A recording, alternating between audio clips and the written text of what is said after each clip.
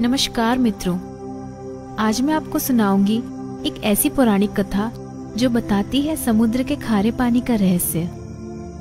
क्या आप जानते हैं कि समुद्र का पानी खारा क्यों होता है? जबकि शास्त्रों में तो यह कहा गया था कि भगवान विष्णु जिस सागर में निवास करते हैं, उसका पानी मीठा व दूध की भांति था। किंतु इस पृथ्वी पर जितने भी समुद्र हैं, उन सभी का पानी खारा होता है। क्या आप जानते हैं कि समुद्र का पानी खारा होने के पीछे क्या कारण है? पौराणिक मान्यता है कि जब महाराज पृथु के पुत्रों ने सात समुद्रों का निर्माण किया था, तब उन सभी का पानी मीठा व दूध की भांति था। समुद्र का पानी खारा होने के पीछे एक पौराणिक रहस्य है। तो आइए जानते हैं कि वह क्या है।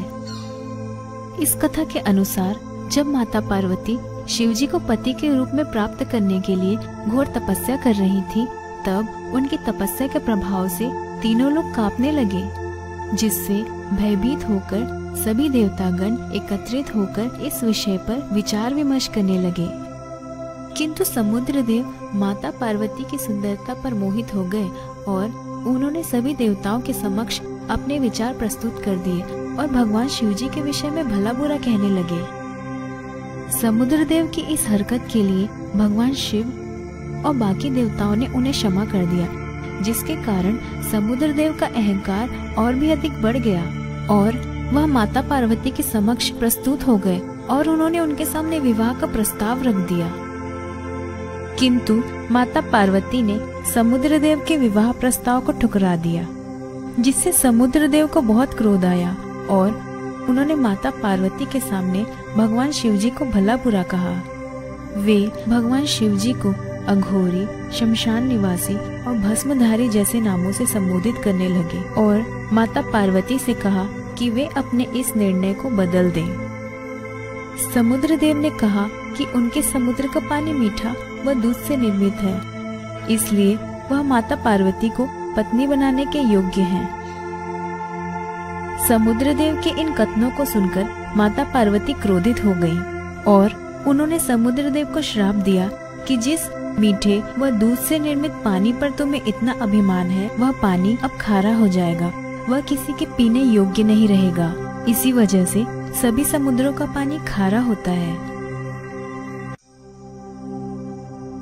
नमस्कार मित्रों, आज मैं आपको सुनाऊँगी एक ऐसी पौराणिक कथा जो बताती है समुद्र के खारे पानी का रहस्य।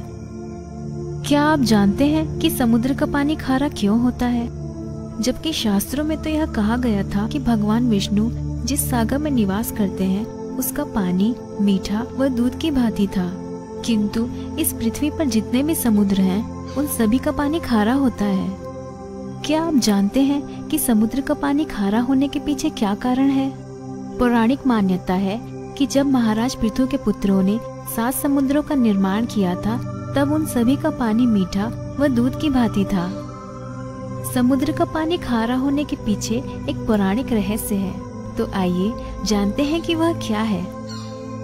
इस कथा के अनुसार, जब माता पार्वती शिवजी को पति के रूप में प्राप्त करने के लिए घोर तपस्या कर रही थी, तब उनकी तपस्या के प्रभाव से तीनों लोग कांपने लगे, जिससे भयभीत होकर सभी देवतागण एकत्रित होकर इस विषय पर विचार विमर्श करने लगे। किंतु समुद्र देव माता पार्वती की सुंदरता पर मोहित हो गए और उन्होंने सभी देवताओं के समक्ष अपने विचार प्रस्तुत कर दिए और भगवान शिव जी के विषय में भला बुरा कहने लगे। समुद्र देव की इस हरकत के लिए भगवान शिव और बाकी देवताओं ने उन्हें क्षमा कर दिया, जिसके कारण समुद्र देव का अहंकार और भी अधिक बढ़ गया और वह माता पार्वती के समक्ष प्रस्तुत हो गए और उन्होंने उनके सामने विवाह का प्रस्ताव रख दिया।